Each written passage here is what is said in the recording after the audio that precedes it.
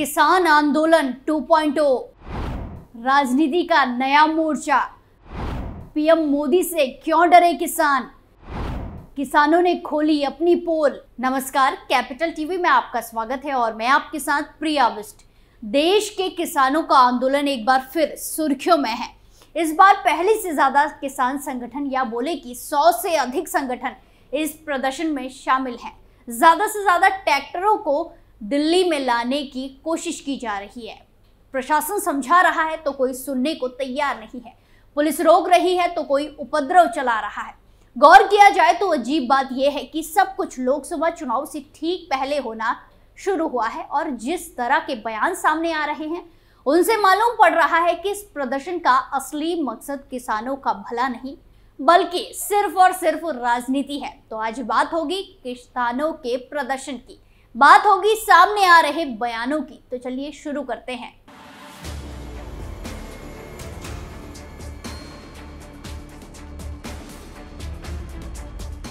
लोकसभा चुनाव सिर पर हैं और साल 2020-21 की तरह किसानों ने दिल्ली में डेरा डाल दिया है। सड़कों पर कटीले तार, नुकीले कील, कंक्रीट के बड़े बड़े बोल्डर। कंटेनर ब्रिगेडी बड़ी तादाद में पुलिस का पहरा। आजकल देश की राजधानी दिल्ली की सीमाओं का यही हाल है।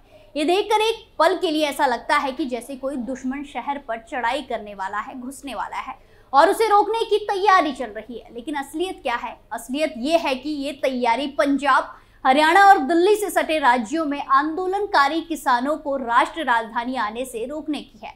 अजीब बात यह है कि चुनाव से पहले ही किसान आंदोलन क्यों देखा जाए तो सब कुछ लोकसभा चुनाव से ठीक पहले शुरू हुआ है। और जिस तरह के बयान सामने आ रहे हैं, उनका क्रम देखा जाए तो ऐसा मालूम पड़ता है कि इस प्रदर्शन का मकसद किसानों का भला नहीं, सिर्फ़ और सिर्फ़ राजनीति करना है। आगे बढ़ने से पहले, सबसे पहले ये जानते हैं कि आखिर ये किसानों का प्रदर्शन क्यों हो रहा है। चलिए किसानों की मांगों पर गौर करते हैं। केंद्र सरकार न्यूनतम समर्थन मूल्य की गारंटी दे। किसानों के खिलाफ मुकदमे वापस लिए जाए। लखीमपुर खीरी मामले में दोषियों को सजा दी जाए। किसानों को प्रदूषण कानून से बाहर रखा जाए। सरकार किसानों का पूरा कर्ज माफ़ करे। किसानों और खेतियार मजदूरों को पेंशन दी जाए। विद्युत संशोधन विधेयक 2020 रद्द किया जाए। शुरुआत से देखा जाए तो कहा जा सकता है कि किसानों का यह आंदोलन न्यूनतम समर्थन मूल्य यानी कि एमएसपी पर कानून बनाने की मांग को लेकर है। किसान चाहते हैं कि सरकार उनकी सभी फ़सलों के लिए न्यूनतम मूल्य तय करे ताकि उनको कोई नुकसान ना हो। अब सरकार इस मुद्दे पर बातचीत कर, करके समाधान निकालने को भी तैयार है। वो बस सामान्य जीवन को बाधित ना करे। लेकिन बॉर्डर पर इकट्ठा कथित किसान पीछे होने का नाम नहीं ले रही है। उल्टा इस प्रदर्शन के ज़रिए बयानबाजी करके अराजकता फैलाने का भरपूर प्रयास किया जा रहा है भरपूर कोशिश की जा रही है। उदाहरण के लिए ऐसे ट्रैक्टरों को दिल्ली सीमा पर लाने की कोशिश है। जिसमें भिंडरा वाले के झंडे लगे हैं। इसके अलावा वो लोग भी इस प्रदर्शन का हिस्सा बन चुके हैं। जो खुलेआम कैमरा ऑन कराकर ये बोल रहे हैं कि उन्हें खालिस्तान दे दिया जाए, वरना वो पाकिस्तान के साथ सीमा खोलेंगे। इन बातों के अलावा भड़काऊ नारेबाजी भी सुनने में आ रही है। साथ ही प्रधानमंत्री को खुलेआम धमकी देने का भी काम हो रहा है। अब एक ऐसा प्रदर्शन में जिसे अन्नदाता के नाम पर प्रमोट किया जा रहा हो उसमें ऐसी बातों का क्या मतलब हो सकता है? 2020-21 के प्रदर्शन में भी यही सब देखने को मिला था, जिसके बाद इस पन्नू जैसे खालिस्तानियों ने इस प्रदर्शन के दौरान नए नए ऐलान कर दिए थे। उसने दिल्ली में बैठे प्रदर्शनकारियों से 26 जनवरी को हंगामा करने को कहा था, जो कि बाद में हुआ भी। ये एक तरफ़ जहाँ कथित किसानों ने प्रदर्शन को लेकर पूरी तैयारी की हुई है तो वहीं दूसरी ओर पॉलिटिकल पार्टियाँ इस मौके का लाभ उठाने से पीछे नहीं हट रही है। आम आदमी पार्टी के प्रमुख और दिल्ली के सीएम केजरीवाल दिल्ली वालों की परवाह किए बिना ऐसे प्रदर्शनकारियों को समर्थन दे रहे हैं। वहीं कांग्रेस के पूर्व अध्यक्ष राहुल गांधी ने माहौल का फ़ायदा उठाकर गारंटी दी है कि अगर उनकी कांग्रेस सरकार सत्ता में आई तो कांग्रेस किसानों को हर फ़सल के लिए एमएसपी सुनिश्चित की जाएगी। दिलचस्प बात यह है कि राहुल गांधी ने इस वादे के साथ ये भी कहा कि वो स्वामीनाथन रिपोर्ट में रखी गई सब बातों को किसान के हित में लागू करेंगे, जिसे यूपीए सरकार ने 2010 में खारिज कर दिया था। अगर कांग्रेस पार्टी को किसानों के हित के लिए इस कदम को उठाना ही था तो उन्होंने इसे तब क्यों नहीं लागू किया जब उनके पास सारी सत्ता थी? आज विपक्ष में बैठकर इस मुद्दे पर उस समय वादे करना जब एक वर्ग सड़कों पर उतरा हुआ है।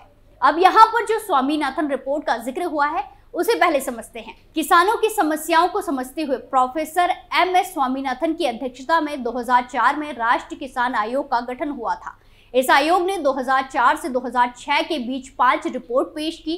इसमें कई सुझाव दिए गए थे, जैसे देश में खाद्य और न्यूट्रिशन सिक्योरिटी के लिए रणनीति बनाई जाए, कृषि प्रणाली की प्रोडक्टिविटी और स्थिरता में सुधार किया जाए, किसानों को मिलने वाले कर्ज का फ्लो बढ़ाने के लिए सुधार हो। पहाड़ी और तटीय क्षेत्रों के साथ सूक्ष्म भूमि पर किसानों के लिए फ़ार्मिंग प्रोग्राम हो। कृषि के लिए स्थानीय निकाय सशक्त बने। इसके साथ ही इस आयोग की रिपोर्ट में न्यूनतम समर्थन मूल्य एमएसपी सुनिश्चित करने का सुझाव भी दिया गया था। और फ़सल की औसत लागत से कम से कम 50 प्रतिशत अधिक एमएसपी देने का सुझाव दिया गया था। स्वामीनाथन रिपोर्ट के अलावा ये भी जानने वाली बात है कि इस प्रदर्शन की एक मांग में से एक मांग ये भी है कि जिन लोगों पर किसान आंदोलन में केस दर्ज हुआ था, उन सभी केसों को रद्द किया जाए। अब ये केस किस बात पर हुए हैं, ये भी ध्यान देने वाली बात है।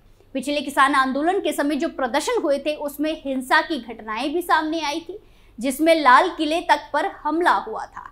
इसी के बाद पुलिस ने इस मामले में केस दर्ज किया था और अब ये प्रदर्शनकारी चाहते हैं कि प्रशासन उन प्राथमिकियों को रद्द कर दे, केसों को रद्द कर दे और किसी उपद्रवी के खिलाफ कोई कार्रवाई न करे।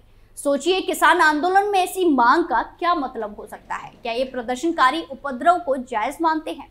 सबसे खास बात यह है कि ये पूरा प्रदर्शन राजनीतिक है। वो ये कि इसे लोकसभा चुनाव से ठीक पहले आयोजित किया जा रहा है। इस प्रदर्शन में कई संगठन शामिल हैं जो किसानों का नेतृत्व करने का दावा करते हैं और अच्छे से जानते हैं कि अगर कोई कानून लाना है तो वो उसका मुद्दा संसद सत्र के समय उठाना चाहिए लेकिन इन किसानों ने ना तो संसद सत्र शुरू होने से पहले और ना ही उसके चालू रहने के दौरान अपने प्रदर्शन की तारीख चुनी, बल्कि जब सत्र समाप्त हो गया, उसके बाद इन्होंने दिल्ली चलो के तहत सीमाओं पर ट्रैक्टर इकट्ठा करने शुरू किए। इसके अलावा एक सवाल ये भी बनता है कि जो किसान दिल्ली कूच की तैयारी में लगे हैं, क्या सिर्फ़ वही किसान है और वही सरकार द्वारा एमएसपी पर कानून न होने से परेशान है? नहीं, देश के अन्य कई राज्य भी हैं जो कृषि में खासा योगदान दे रहे हैं, लेकिन वो इस प्रदर्शन में शामिल नहीं हो रहे। सवाल तो उठता है, न केवल पंजाब के किसानों को ही सरकार से इतनी समस्या क्यों है? और क्यों ये लोग अपनी बात मनवाने के लिए सामान्य जनजीवन को प्रभावित करने पर तुले हैं? वो भी तब, जब सरकार कह रही है कि वो इस मामले पर बातचीत करेंगे और समस्या का समाधान निकालेंगे। अगर वाकई इस प्रदर्शन का उद्देश्य राजनीति नहीं है तो फिर क्यों इसे पॉलिटिकल पार्टियाँ जुड़ती ही जा रही है? वहीं अब किसान आंदोलन के पीछे राम मंदिर का ज़बरदस्त कनेक्शन भी सामने आ गया है। किसान नेता ने खुद ही इस आंदोलन की पोल खोल के रख दी है। दरअसल किसान आंदोलन के पीछे की असली वजह खुलकर सामने आई है और इस आंदोलन के पीछे की वजह आपको हैरान कर देगी। वजह है प्रधानमंत्री नरेंद्र मोदी की लोकप्रियता का ग्राफ नीचे गिराना। और ये हम नहीं, ये खुद कहना है किसान नेता जगजीत सिंह डल्लेवाल का। उन्होंने एक YouTube चैनल से बात करते हुए ये बात स्वीकार की है। अगर इस सरकार द्वारा किए गए वादों को सरकार से पूरा कराना है तो फिर सरकार बदलने से पहले उसे हमारी बातों को मानने के लिए मजबूर करना पड़ेगा। वरना सरकार बदल जाएगी तो नई सरकार कहेगी कि हमने तो वादा ही नहीं किया। इसके बाद किसानों को फिर से मेहनत करनी पड़ेगी। जिस तरह से प्रधानमंत्री नरेंद्र मोदी की लोकप्रियता का ग्राफ बढ़ रहा है, ऐसे में मुश्किल होगी। मैं लोगों से कहता रहा हूँ, उनके ग्राफ को नीचे लाना होगा।